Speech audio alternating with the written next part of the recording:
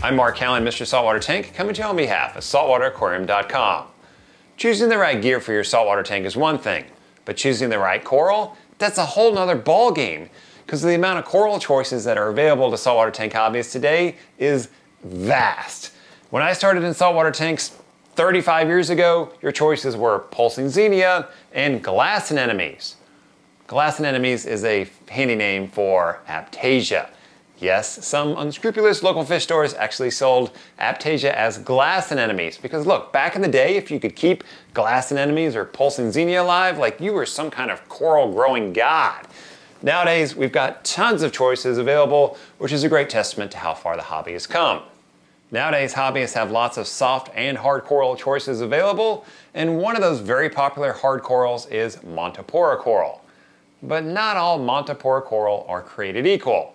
There's some that mm, can be a nuisance in your tank. One of those that comes to mind is Montipora capricornis.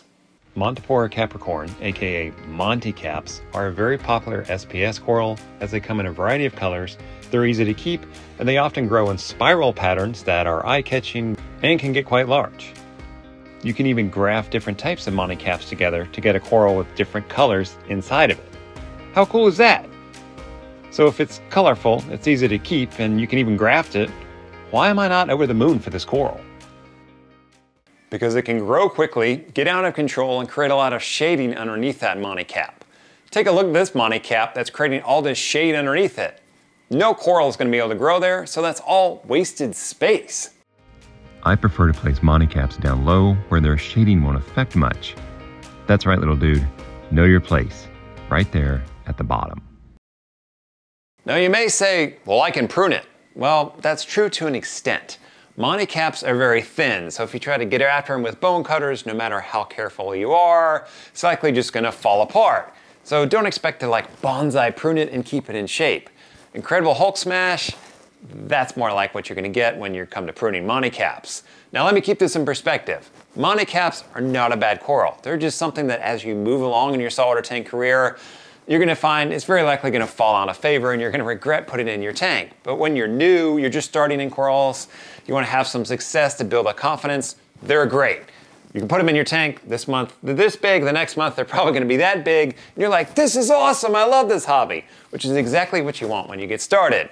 But as your tastes get more refined, you're like, ah, that weedy Monty cap, I'd really like to have that space for something else. I'm gonna take it out and sometimes it can be too late. Okay, that being said, what about the other potentially weedy Montipora corals, Montipora digitata, and of course our favorite, the Spongodes. Digis tend to get a little weedy as well, and they can reach out and touch things that you may not want them to. And they're easily broken as well. My fish often break off pieces of this bubblegum digi and leave me with this digi minefield in the bottom of my drop-off tank, fragging with zero effort. Spongodes, it just takes over, it encrusts, and it's very hard to get off the rocks. Not saying to avoid these, just know what you're getting into. Compared to some other Montipora coral that I'm about to talk to you about, the Monty Cap, the Spongodes, and the Digitata, they're just a little weedy for my taste. So, that being said, what other Montipora corals do I prefer and use in my reef tanks? Montipora undata.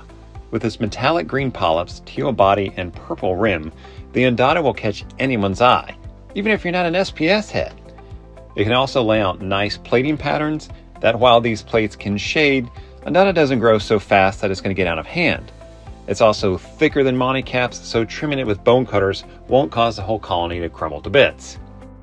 Montipora setosa, a three-in-one coral.